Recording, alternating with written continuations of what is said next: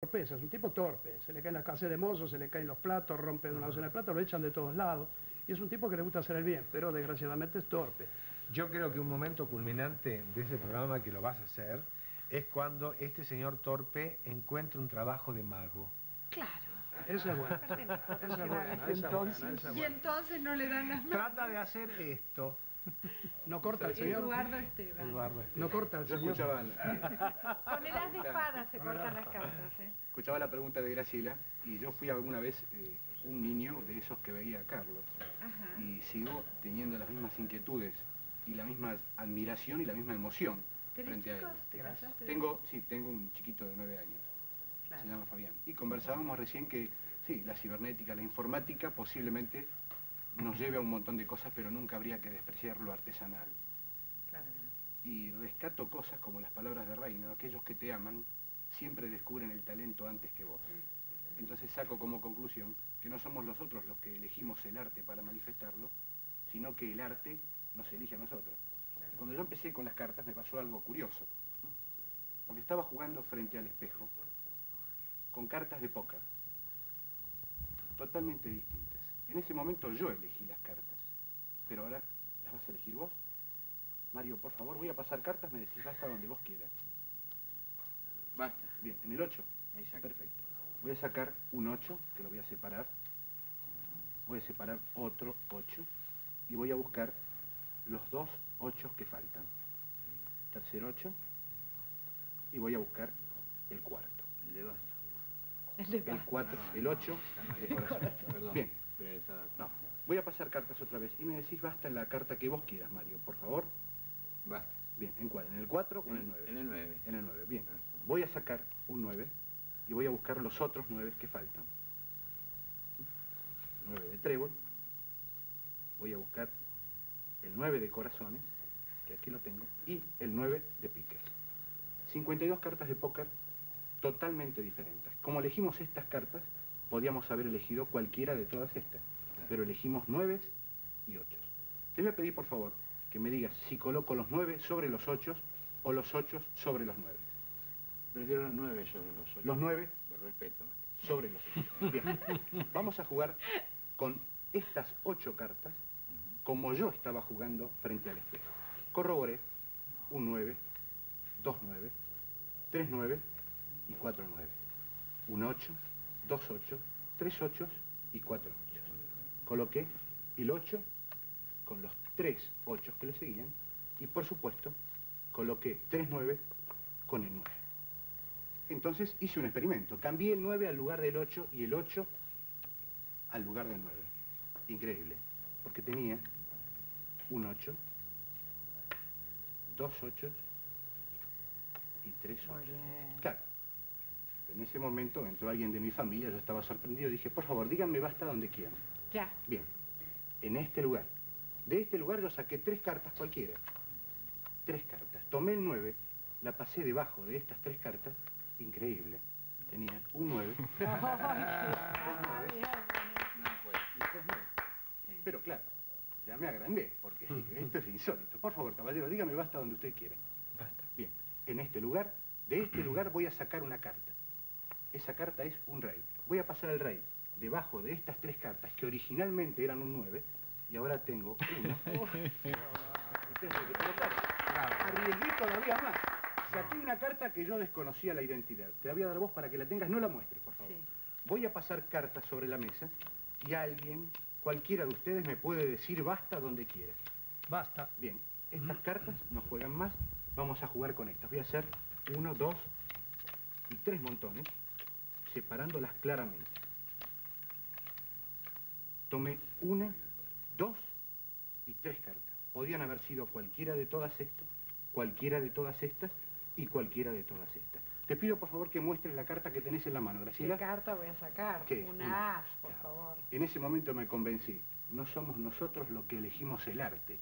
El arte los elige a nosotros. ¿Saben qué tenía? Tres haces en la mano. Oh, Ahora,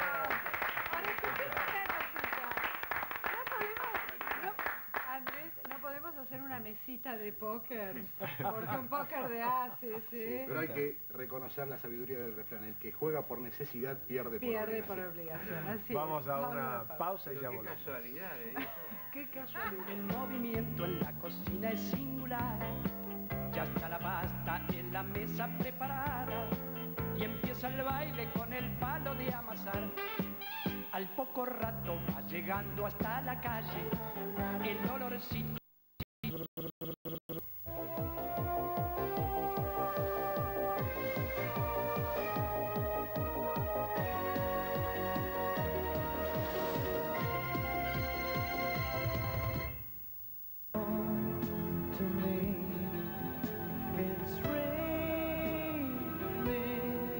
Mario recién me decía una cosa muy interesante, que él había descubierto el origen de la vocación de Eduardo Esteban. Exacto. Yo, yo lo- muy, muy, muy poca gente lo sabe. Ajá, Porque, ni él eh, mismo, ni creo. él- creo que ni él mismo. Él empezó trabajando en el correo. Sí. Y ahí el amor a las cartas. Una vocación que Qué nació bueno, ahí. Qué bárbaro, ¿eh? Bueno. ¿Por dónde pasa a cobrar? Ese fue el mejor chiste. Sí. Eh, Carlitos Bala, ¿qué estás Sí. haciendo aparte de preparar esa comedia que va a ser realmente fantástica? Y estoy haciendo memoria. ¿Qué estás haciendo, memoria? No, y salgo en Hago shows unipersonales por toda la Argentina. Ajá. ¿Siempre dedicado a los chicos? Siempre a los chicos. sí, Ajá. Sí, sí, sí, hago un show de una hora y media. Donde me llamen, este, ahí estoy. San Rafael, Mendoza, Tucumán, Tierra del Fuego, Gran Buenos Aires, Loma de Zamora, lo que sea. ¿Pero hace ya tiempo que venís Sí, haciéndolo? o sí, sí, o sí, en- sí. Lo, sí, lo hice siempre. Ajá. Lo hice siempre. Aún haciendo televisión, lo hice siempre. sí. Qué bueno, qué bien. Es lindo, es una manera de comunicarse con el público, ¿viste? Por supuesto, y además es una manera de estar activo, de viajar, de conocer. Aparte que me gusta. Yo soy un tipo que todo el día estoy haciendo un show. Subo a un colectivo y hago que vendo una lapicera en broma. Pero ¿cómo? Yo subí una vez a un avión en Mar del Plata para Buenos Aires Me acuerdo, y subió Carlos Balo, ¿te acordás? Sí, no? sí, sí. Fue el- creo que el viaje más divertido de mi vida. Empezó a vender peines en el avión. Sí, sí, sí, porque una cosa insólita, ¿no? Claro. Porque te ve el turista que no te conoce, un tipo que viene de Brasil y está loco, este vendiendo un peine en el avión, una Además cosa que rara. nadie lo detenía. Claro, sí, porque sí. era Carlos, todos sabíamos de qué se trataba, ¿no? Yo conozco otra de Carlito que había subido, no me acuerdo dónde era, un medio de transporte que le decía al, al chofer, le decía, por favor avíseme cuando lleguemos a la calle de México, faltaba que sea como 30 cuadras. Pasaban dos cuadras y dice, avíseme cuando lleguemos a la calle de México. Sí, ya sé, al rato venía, avíseme cuando llega, cuando llegó a México el tipo sabe cómo estaba, ¿no? Y entonces cuando llegó a México dijo, ¡México! Y él gritó, ¡Viva Zapata! Casi me bueno. Esa fue famosa, sí. De eso tengo muchas historias. sí. Y me encanta, me gusta hacer reír. Vale, decir, yo me divierto viendo cómo se divierte la gente. Está bien, fantástico. Bueno, este, vamos a la mesa eh, donde está Graciela con García Belsunce, por favor.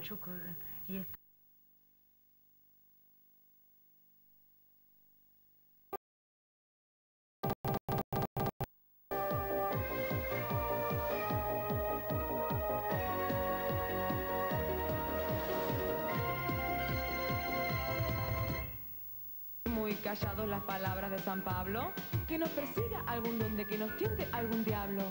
Que una bruja nos asuste y no nos deje dormir. Que nos corra un fantasma que nos haga morir. No, a mí no, por favor. ¿Sabes la última? La Z. Me lo contó Carlitos, ese me gustó. Bien, chiste. No, chiste, chiste no. Eh, yo quiero decir que Balá, este fin de semana, ¿dónde estás? Que Este fin de semana pregunté. estoy en la República de los Niños, ahí en Gonet. Ah, qué bueno. Un- sí, sí, un show lindo a las 6 de la tarde para todos los chicos del Gran Buenos Aires. Qué bien. ¿Y qué te fluye, Gallego, con los niños? No, que el colmo, ¿sabes cuál es el colmo de un jockey judío? No, Que le ganen por una nariz. Ay, hijo. Verá quién habla. No te rías. No te rías, le pertenezco al señor A interventor. ver, los dos Sánchez, ¿qué te fluye, Mario? ¿Eh? ¿Qué te fluye? ¿De qué? Un chiste. Yo no soy chistoso. ¿No sos chistoso? Y si ya lo decía.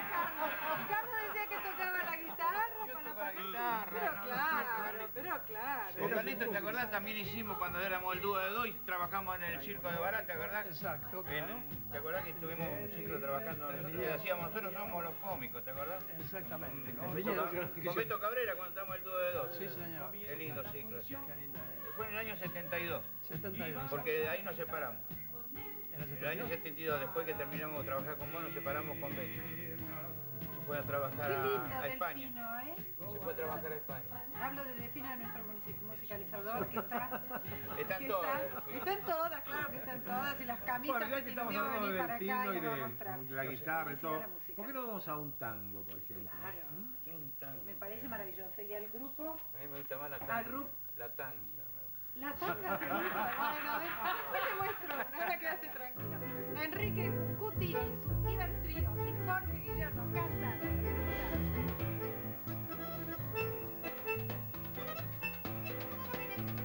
He paseado mis tangos, tus tangos, por todo el mundo.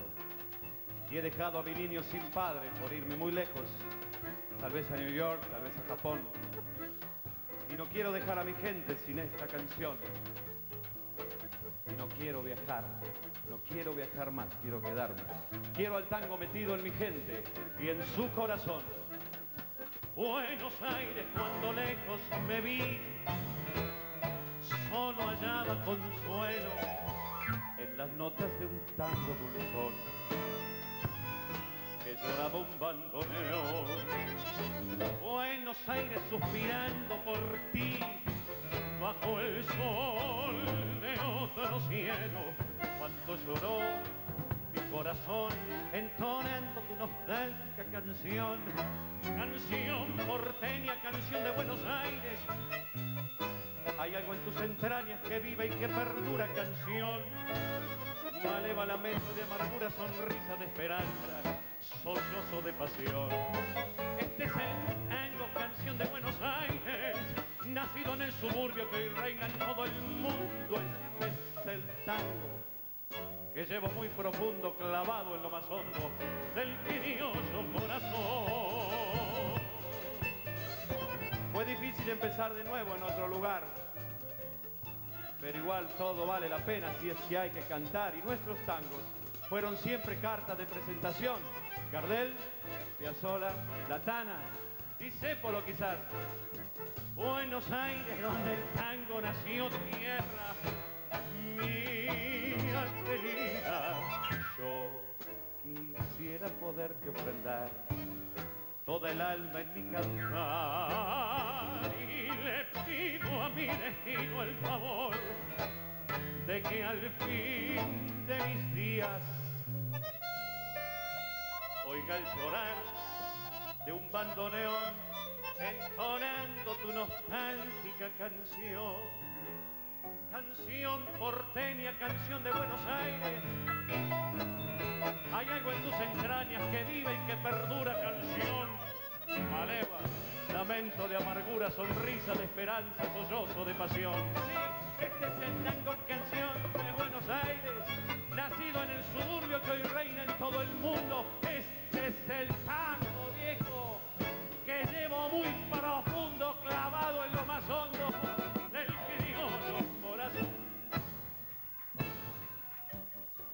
Sigue en ATC, ya viene Amor de Nadie. Y a su término, las aventuras de Lassie y Flipper.